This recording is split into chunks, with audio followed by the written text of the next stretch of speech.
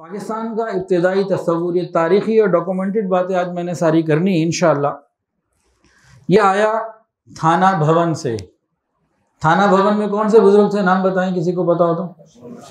हज़रत मौलाना अशरफ अली थानवी रहमत हज़रत मौलाना अब्दुल माजिद दरिया आबादी रहमत लिखते हैं कि जब मैं थाना भवन में गया 1928 में, जून 1928 में तो वहाँ उन्होंने कहा, हज़रत थानवी रहमत ने कि जू, कि जी यूँ चाहता है कि ख़त्े के ऊपर खालिश इस्लामी हुकूमत हो। सारे कवानीन और ताज़ीदात, ये सब इस्लामी अहकाम के मुताबिक हों। बैतुलमाल का निज़ाम कायम हो, ज़क़़त का निज़ाम राइज हो शरय अदालतें वो कायम हों। मुसलमानों को इसके लिए कोशिश करनी चाहिए। दूसरी कौमों के साथ मिलकर ये नतज कहाँ हासिल हो सकते हैं? तो पहले पहल, ये नज़रिया थाना भवन से निकला। और जिसको अलामा इकबाल ने फिर बाकायदा बाद में उनतीस दिसंबर 1930 Allahabad All India Muslim League के जब वो सदर थे और ख़ुतब सदारत में उन्होंने फिर पाकिस्तान के नज़रिए को इस चीज़ को फिर उम्मत के सामने पेश किया। तो शुरू वहाँ से हुआ और पूरा इसको वजाहत की अलामा इकबाल रहमत ने। कायद अजम इंग्लैंड में पढ़े बढ़े कराची में पैदा हुए अठारह सौ छिहत्तर में। उनके जो वालिद थे, वो काठियावाड़ से आ गए थे, ताजर थे।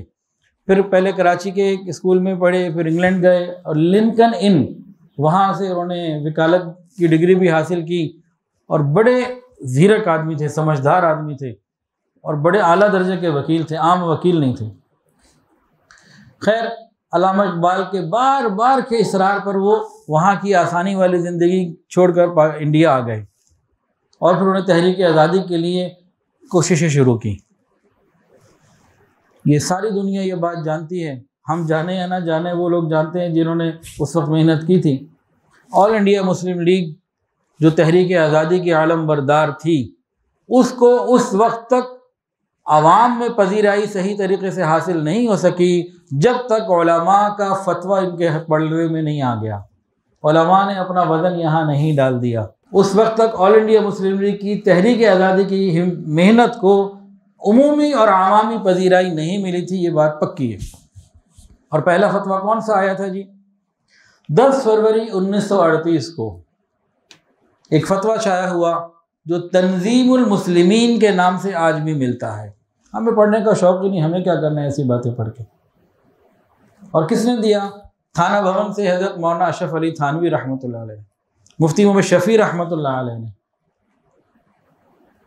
हमारे अकाबरीन ने दिया। उसके बाद आवाम इनके साथ आई और खाली फतवा दे के साइड पे नहीं हो गए।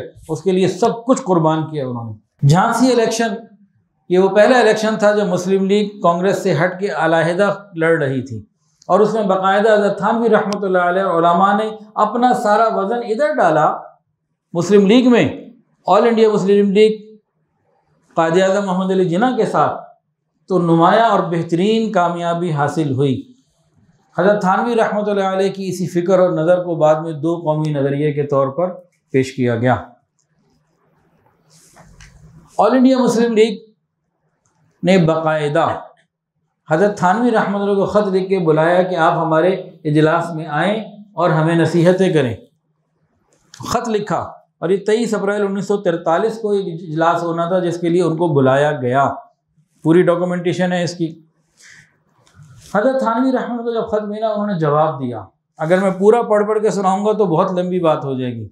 उन्होंने अपनी एक तो तबीयत की बीमारी की वजह से कहा, मेरी आखिरी उम्र है, मैं बीमार हूँ, आ नहीं सकता।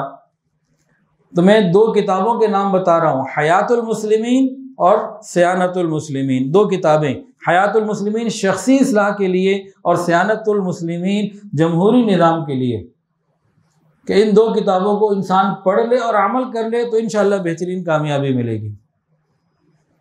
फिर उसमें उन्होंने लिखा कि इंसान के पास दवाई तो बहुत कीमती और बेहतरीन हो, लेकिन हलक से ना उतारे तो इलाज नहीं होता। इसलिए इन किताबों के नाम पढ़ लेने से काम पूरा नहीं होगा, किताबों को पढ़कर अमल में लाना होगा, फिर बात बनेगी। वीडियो के नीचे सब्सक्राइब के बटन पर क्लिक करें, बेल के आइकॉन पर क्लिक कीजिए ताकि हर नई वीडियो की नोटिफिकेशन आपको मिल जाए।